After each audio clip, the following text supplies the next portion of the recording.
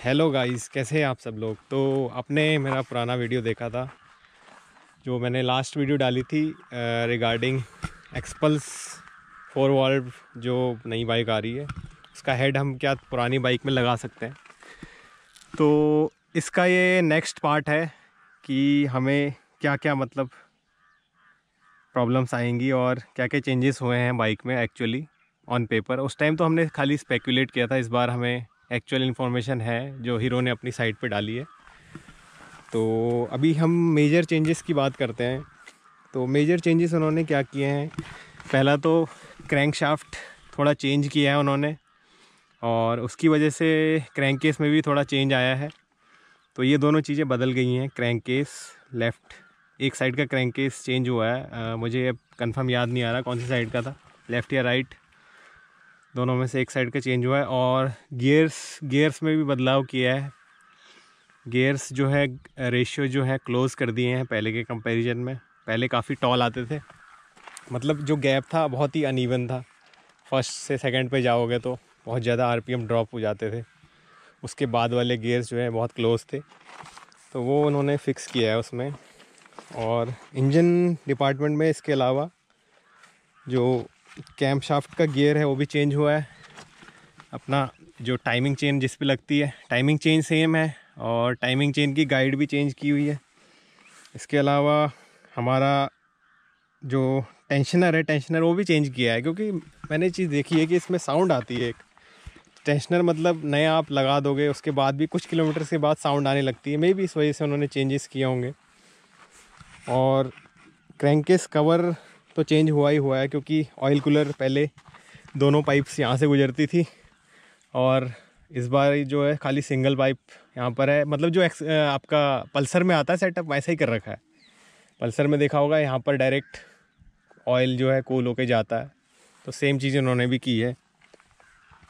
और एक एक थोड़ा सा मुझे बड़ा बदलाव लगा, वो है कि एयर सेक्शन वाल्व इन्होंने रिमूव कर दिया है। एएसबी बोलते हैं जिसको। सेकेंडरी इंजेक्शन भी बोल, कह सकते हो। जैसे कि देख रहे हो, ये है आपका अंदर जो पाइप दिख रही है हेड के ऊपर। वो एएसवी की है। तो इससे क्या होता है कि पॉल्यूशन कम करने के लिए होती है। डायरेक्टली कूल एयर डाली जाती है एग्जॉस्ट में। तो ये हटा दिया है इस बार इन्होंने। और क्या चेंज नहीं हुआ, अब इसकी बात करते हैं। पिस्टन ब्लॉक सेम है। हेड गैस्केट जो इसकी है पिस्टन लॉक की, वो भी सेम है। इसका मतलब हम चेंज कर सकते हैं। नॉर्मली मतलब फ़िट हो जाएगा। बोल्ट वगैरह भी सेम है उसके हेड के। और इनटेक साइज़ में भी थोड़ा चेंज हुआ है ये जो आप रबड़ देख रहे हो। इनटेक साइज़ थोड़ा बदल गया है। इसका 2019 जो मॉडल था, उससे डिफरेंस है इसमें, जो नया इन्होंने निकाला है फोर वी में। और एग्जॉस्ट का भी मुझे लगा कि थोड़ा सा मतलब ये एंगल जो है इधर को कर दिया है बेंड हो गया है। तो बाकी बाकी सब सेम है। और जो हमारी गैसकेट है मतलब क्रैंकेस वाली, वो भी सेम है। तो इसका मतलब है कि हम क्रैंकेस कवर जो है लगा सकते हैं अपनी अपनी इस पुरानी बाइक में नए वाली का। इसका मतलब ये भी है कि अगर हम कवर लगा सकते हैं तो ऑयल गैलरीज भी सेम है, क्योंकि मैंने फ़ोटोज़ जो देखी थी, उसमें देखा कि सब जो उसका ऑयल फिल्टरिंग वाला सिस्टम है, वो भी सेम है। ऑयल गैलरीज में भी कोई ख़ास बदलाव नहीं लगा मेरे को सेम है पूरा। तो हम ये कवर भी लगा सकते हैं ऑयल कूलर लग जाएगा हमारा। और जो क्लच है क्लच प्लेट्स वो भी सेम है। क्लच स्प्रिंग भी सेम है। क्लच का जो गियर रहता है बड़ा वाला, उसका नाम मुझे याद नहीं आ रहा बट वो चेंज हुआ है, क्योंकि गेयरिंग उन्होंने ओवरऑल चेंज किए तो वो तो था ही मतलब ऑब्वियस ओवरऑल गेयरिंग को उन्होंने मेंटेन करने के लिए उसमें टीथ्स वगैरह चेंज किए हैं। उससे हमें कोई फ़र्क नहीं पड़ेगा। बट हमारी मेजर अभी प्रॉब्लम आएगी कि हेड का जो साइज़ हो गया है इंक्रीज़ अभी इतना है तो उसका थोड़ा ज़्यादा बढ़ गया है। उससे प्रॉब्लम क्या आएगी कि क्लियरेंस का इशू आएगा। देखो, ये ये तो एक्सट्रीम है, मैं एक्स एक्सपल्स की बात नहीं कर रहा हूँ, अभी तो एक्सट्रीम की बात कर रहा हूँ। एक्सट्रीम में क्या है कि ऊपर बहुत कम है मतलब क्लियरेंस देखोगे तो अगर आपको दिख रहा होगा वीडियो में। बट एक्सपल्स में काफ़ी ज़्यादा रहता है, क्योंकि चेसिस उसकी अलग है। ऑफ़ के हिसाब से उन्होंने बनाई है तो थोड़ा सा प्रॉब्लम इसमें आ सकता है हमें क्लियरेंस का। इसके लिए मुझे बाइक सामने होना मेरे लिए बहुत ज़रूरी है। बिना उसके मैं, मेरे को कर पाना डिफ़िकल्ट रहेगा एक गैम्बल रहेगा कह लो। और दूसरा यही प्रॉब्लम है कि इनटेक जो मैंने बताया, रबड़।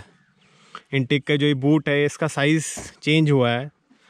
तो क्योंकि हमारा एक कार्बोरेटर सेटअप है तो इसमें प्रॉब्लम आ सकती है। हमें थोड़ा सा कस्टमाइज़ करना पड़ सकता है इस एरिया पे, अगर ये फिट नहीं हुआ तो। दूसरा प्रॉब्लम आएगा एग्जॉस्ट का। एंगल थोड़ा सा चेंज हुआ है तो हमारी पाइप को हमें थोड़ा सा बेंड वगैरह मॉडिफाई करनी पड़ जाएगी।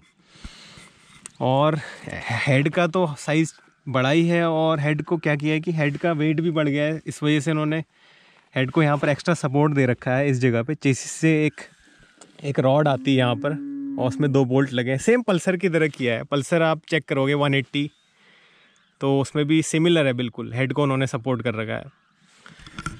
और बाकी अब लास्ट बात कर लेते हैं, जो हीरो की पार्ट ऑर्डरिंग सिस्टम है उसके बारे में।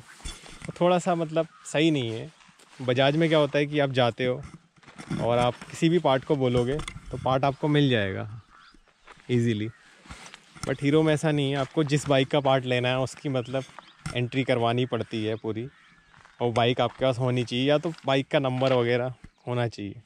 तो थोड़ा सा डिफ़िकल्ट हो जाता है वहाँ पर मैटर क्योंकि मेरे लोकेलिटी में अभी किसी के पास एक्सपल्स फोर वॉल मैंने देखी नहीं है, ना ही अभी एजेंसी में आई है।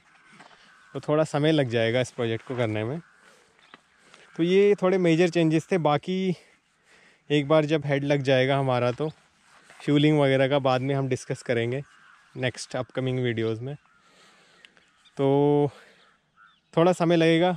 आप बताइए कमेंट सेक्शन में आपको क्या मतलब लगता है कि पॉसिबल है कि नहीं है और क्या मुझे प्रॉब्लम और आ सकती हैं इसके अलावा।